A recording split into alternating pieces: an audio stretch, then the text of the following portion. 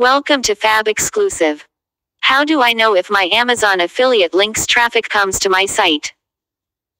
1. You can check whether links are generated by the associate's website by checking your store ID after adding the link or code to your website.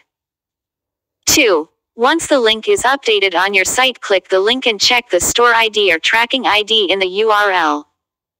3. It appears as, and tag equals, store tracking ID. 4.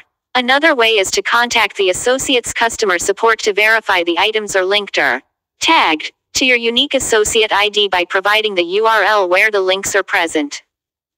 5. In case you create your own link, please make use of Link Checker. 6. Please remember that the link created on Associates Central will not work with the link checker. Thanks for watching Fab Exclusive. Please subscribe, like, comment, share, and also click the bell icon for more updates.